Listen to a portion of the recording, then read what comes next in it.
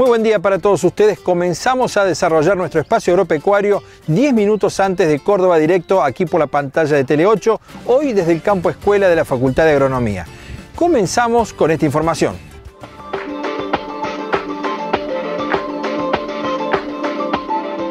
El próximo lunes vence el inmobiliario rural. La Dirección General de Rentas informa a los propietarios de inmuebles rurales que el próximo lunes 20 de febrero vence la primer cuota o la cuota única del impuesto 2017.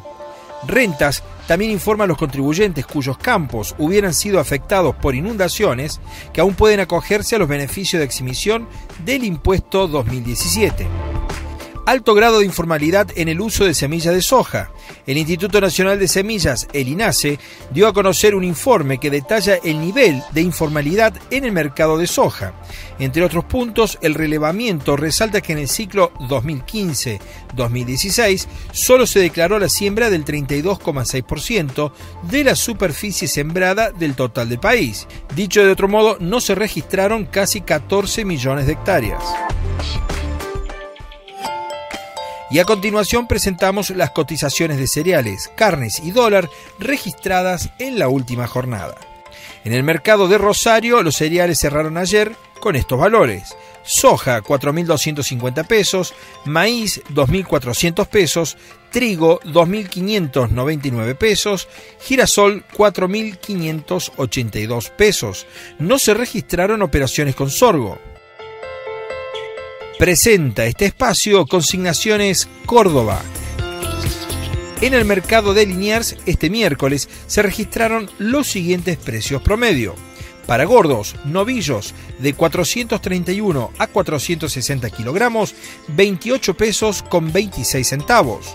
Novillitos de 351 a 390 kilogramos, 30 pesos con 51 centavos. Vaquillonas de 351 a 390 kilogramos, 28 pesos con 30 centavos.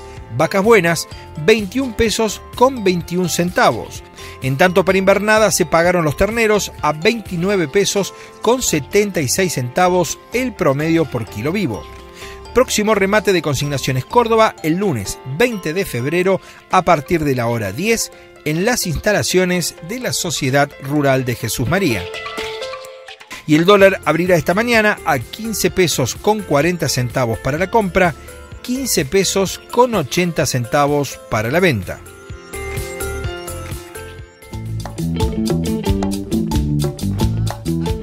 Esta semana participamos de una importante reunión en la Bolsa de Cereales de Córdoba junto a periodistas agropecuarios. Le preguntábamos a los técnicos de esta institución sobre la actual situación y la evaluación de la actual campaña agrícola en nuestra provincia de Córdoba. Ya está a punto de, cosecharse los primeros lotes tempranos a nivel nacional. Bueno, una campaña que tuvo algunos contratiempos por el tema de las inundaciones y también por el tema de la sequía, principalmente en la provincia de Buenos Aires. Sin embargo, llovido en los últimos días y eh, las lluvias han aminorado en las zonas más afectadas aquí en Córdoba. ¿Qué nos quiere decir esto? Que aquellas estimaciones de producción que eran eh, no diríamos fatalistas, pero que disminuían la, producción bastante, principalmente en soja, ahora podrían estar retractándose un poco y no, serían, no tendrían caídas tan, tan pronunciadas. Pero obviamente hay que esperar a ver cómo se va desarrollando el cultivo en lo, en lo que queda hasta la cosecha. Y esto va a afectar en los precios, evidentemente, porque si nosotros recordamos, ahora un mes con el tema de las lluvias, el precio en Chicago de la soja se disparó principalmente por una reducción de los stocks en Estados Unidos, pero también por las expectativas de pérdidas aquí en Argentina. Como te estaba diciendo que estas pérdidas podrían ser un poco menores a lo que se esperan, los precios empezaron a caer y bueno, hay que tener presente esta variable cuando se empiece a cosechar aquí en Argentina, ya que los precios que pensamos que iban a subir podrían estar en unos niveles no tan altos como esperábamos. ¿Una recomendación para el productor? Una recomendación para el productor es que si ve algunos precios en los mercados futuros o en los mercados de cobertura que le, que le cierre por la, rentabilidad, que podría cerrar algún negocio y bueno, lo otro esperar a ver qué, qué pasa con el precio a cosecha. Bueno, de esta campaña estival que está transcurriendo, eh, podemos hacer un quiebre, eh, lo que fue hasta, hasta, las precipitaciones que se dieron eh, después de Navidad, las condiciones de, los cultivos eran buenos y poco muy buenos, estaban sufriendo estrés hídrico. y luego de las precipitaciones que se dieron a partir de la, última semana de diciembre, hicieron que el estado general de los cultivos mejorara muchísimo, salvo bueno, en aquellas localidades, por ejemplo de San Justo, el norte de San Justo, Roque San Peña, en donde llovieron arriba de 200 milímetros en dos semanas, eh, bueno, ya ahí hubo eh, problemas de anegamiento y, de superficie pérdida. Para hacer una, división, digamos, lo que es el departamento de San Justo, eh, al norte, lo que es Morteros, ahí tenemos problemas, que llovieron 200, 300 milímetros en, un mes. lo que es la zona sur de, la Bulaz, ahí también tenemos problemas. En lo que es Unión y Marco Juárez, arriba de Justiniano Pose, lo que es Nottinger y Zaira, ahí también hay problemas. Eh, pero en el resto de, la provincia, salvo que falta alguna localidad, están bastante bien los... Nos vamos a una breve pausa, ya volvemos con más información desde el campo escuela de la Facultad de Agronomía.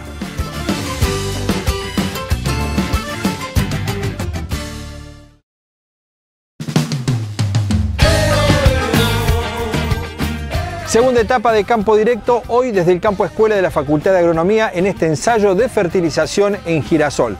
Presentamos a continuación las principales actividades del agro para los próximos días. Entre mañana y el 17 de marzo se podrá participar del curso de modalidad virtual de manejo del invernadero intensivo de verano. Estará a cargo del INTA San Pedro con el propósito de que el estudiante pueda conocer las alternativas adecuadas para la construcción y manejo de un invernadero. La Agroescuela Córdoba anuncia que están abiertas las inscripciones para el ciclo 2017 de la especialidad de perito clasificador de cereales, oleaginosas y legumbres. Para cursar la especialidad se precisa haber finalizado el secundario o tener aprobado el CBU.